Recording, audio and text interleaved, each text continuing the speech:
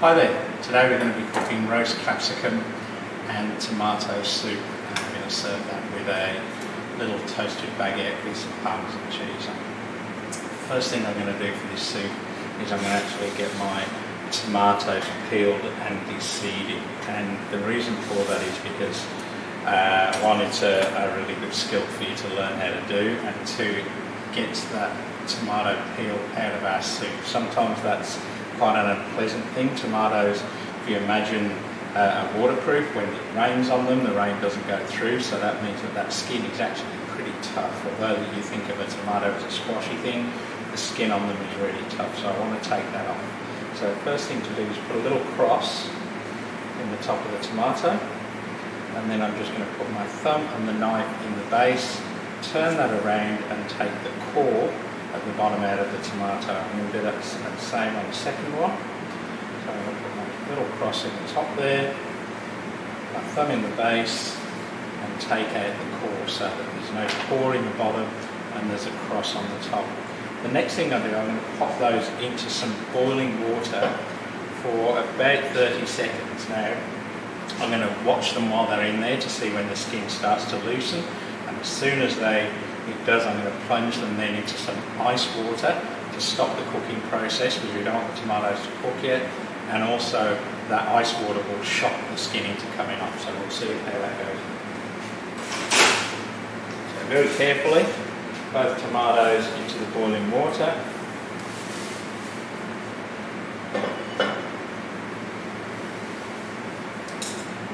Just watching those in there to see when that skin starts to peel away.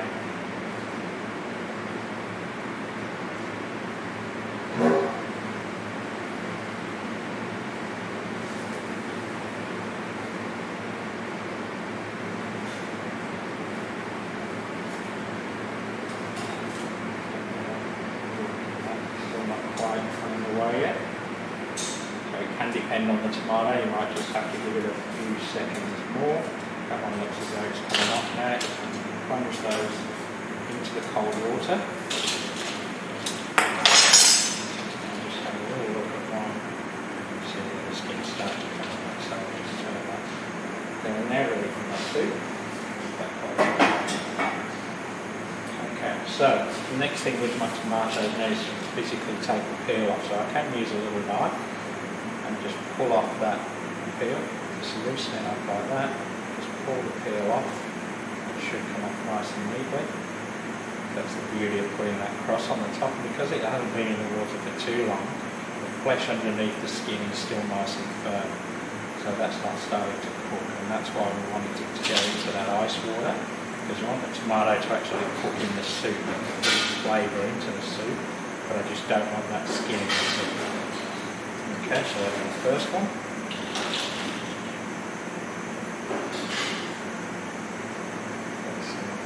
One. Speed this one up a little bit.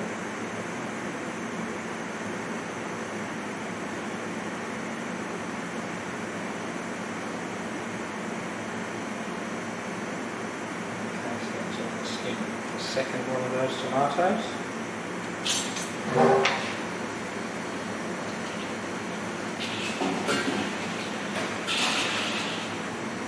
And now I'm going to de-seed them. So by de-seeding, what I mean is I want to cut them into quarters and also take out the seeds, because the seeds aren't going to add anything to this soup at all. Fact, when they puree inside the soup, if I leave them in, there'll be little bits and little hard bits of seeds. So I just want to take those seeds. And I just do that by just cutting up the top and then taking out the seeds with my thumb. And this process of removing the skins from the tomatoes is a fairly common one in kitchens. We, we quite often just use the flesh of the tomato. This can all go into our stock pot to make our stock, so that's all great. We can use that, it doesn't have to be wasted. But we want to, for something like this, we want to just make sure that we've just got our tomato flesh rather than the skin and the Okay. It also is quite useful in salads. The French use it in quite a number of salads. And what I'm going to do with it now by chopping it up with no skin and no flesh is called a concasse. So it's a fairly common French trick to get rid of the parts of the tomato that can be a bit of a nuisance when you cook.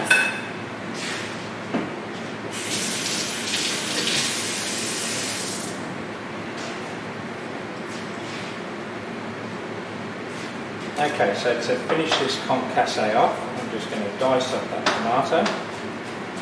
And remember, it's going into a soup, so in this instance, it doesn't really matter too much about getting it exact. If I was using that concasse to maybe garnish a salad, a salad niçoise, something like that, then I'd want to make sure that it was all the same size. But as this is going into a soup, I can be fairly industrial with it and just give it a rough chop over.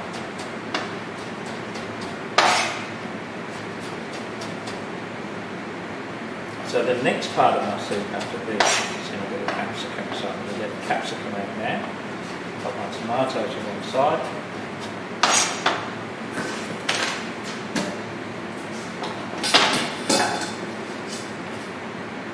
So that's my concasse of tomato there. So that's a chopped tomato that's been peeled and de-seeded. So the next thing then is the capsicum. So I've actually roasted this capsicum in advance, and by roasting it in advance, I've allowed the skin to, to soften away from the flesh. So very similar to what I did with the um, with the tomato, I'm taking away the seeds, and I want to take away the skin from the outside. So if I lay that capsicum down, you can see that I've roasted it quite hard and blistered it. And now the skin will just peel off that. Now the skin of the capsicum just like the tomato is really hard and it doesn't lend itself to making a great soup because it doesn't puree down very well. So I'm taking as much of that skin off as I can possibly get without losing too much flesh and then similarly I'm just going to move away any of these seeds. Now if the odd one gets left in there it should get caught by the sieve at the end so I'm not going to be too pedantic about getting every single seed I'll get as many of them as I can without losing any uh, without losing any flesh of the capsicum. So I'm going to use about a half of my capsicum here, so I'm just going to put that other half to one side.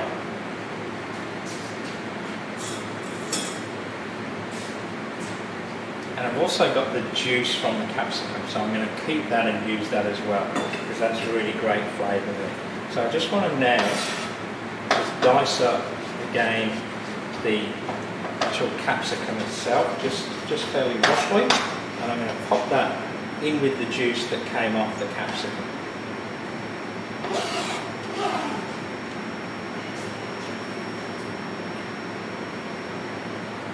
Okay, just the last bit of prep there for this now, we need a little bit of onion. So probably only about a quarter of an onion just going to remove the skin and the tip on the onion. And then roughly chop that onion. Again, it's going to go through the food processor, so it doesn't matter if there's a few lumps in it. But still using that claw grip and still making sure that we've got the all the safety things in process.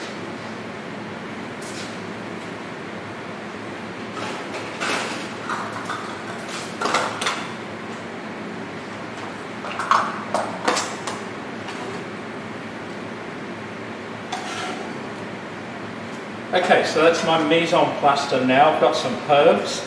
I've also made some little croûtes to go on top of it. I'll show you those in a moment. The first thing to do is now to the soup. So I'm going to use a fairly medium to large pan for that and I'm going to get that nice and hot first.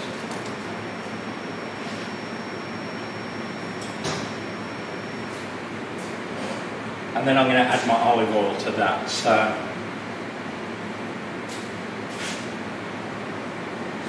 So we want about 20 mils of olive oil going into that.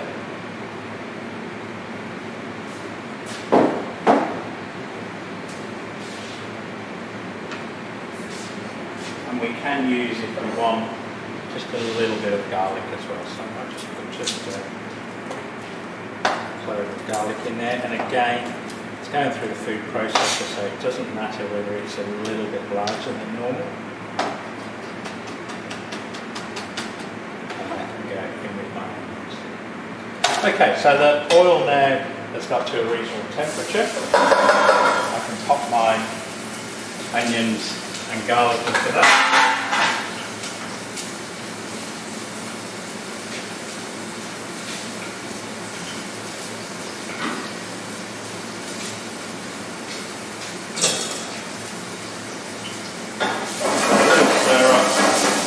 reduce the heat down.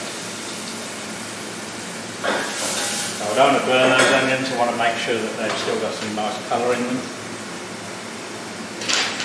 Okay, so now the onions and the garlic are starting to cook out, I can add the main flavours of my soup. So the first one is those tomatoes, cook those out in there now. Remembering that the capsicum has already been roasted, so because the capsicum has already been roasted, it won't take quite as long to cook out.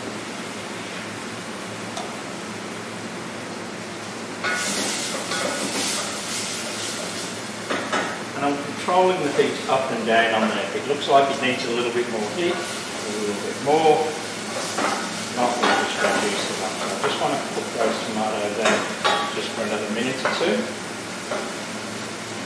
While that's happening, I'll show you the croutons.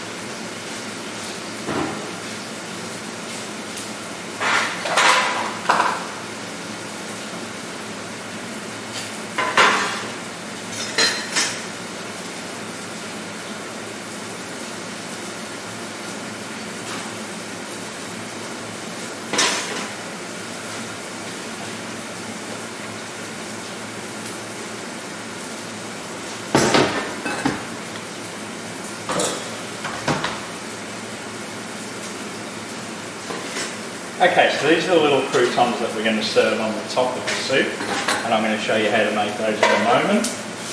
Next step on this is to get our capsicum in. So that's our roast capsicum, and I've kept the juices from the capsicum and put that in there as well.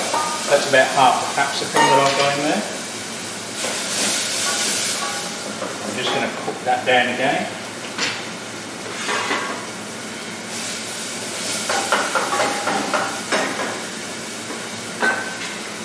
Okay, so for my croûtes, all I've used is a little par-baked French baguette. So you can either get these at the supermarket, there is a recipe for baguettes on our YouTube channel that you can watch that's uh, the same as the naan bread recipe, and you just make that into a baguette shape and let it rise and half bake it. So I'm just going to cut a few slices off here. And you'll see that that's about the thickness that we want. So we want just a few of those slices and on the top of them then we're just going to put a little bit of parmesan cheese and just toast those up in the oven for just a few minutes at a time. So they go, they go into the oven for about five, six minutes.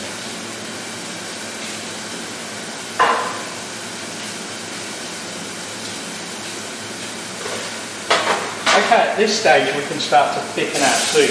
Now for the soup, we're going to use a flour thickener. There are a number of different ways to thicken soups. One is the main ingredient, which was the pumpkin soup that you saw a little earlier when we did the pumpkin soup. So that's thickened by using the main ingredient, in that case pumpkin. Now this one, the tomatoes and the capsicum don't have any starch in them. So they're not really going to thicken that soup on its own. So I'm going to use just a little bit of flour in there. I don't want to put too much because I don't want the soup to taste floury. So I'm just going to use a little bit of flour in there. So it's only a tablespoon. And then I'm going to use about the same amount of tomato paste. So about a tablespoon of tomato paste. So that's making a roux inside the inside the soup. So it's thickening up by the starch from the flour. So those different types of thickening that we've got are the flour thickened soup like this one, the one that's thickened by its own ingredient, so that's like pumpkin soup. And then finally, we have soups that aren't thickened at all, and they're like consommes and broths and things like that. So the, the different styles of soup. Um, yeah, we can also thicken soup with things like pasta. So minestrone soup has pasta in it. The starch from the pasta thickens that soup up. Okay, so now I've cooked out my flour, I can start adding the stock to it. Now in this one I've used vegetable stock. You can use chicken stock at home, that's fine. But I've decided to use vegetable stock, which means that then I can serve it to my vegetarians because there's no meat products in it. So I'm just going to turn that back up again a fraction, and I'm just adding that stock slowly. So I've got 400 mils of stock there. This recipe is in the book on page 14 if you want to have a look in the recipe book that I sent you all home. So just very slowly adding that stock just a little at a time.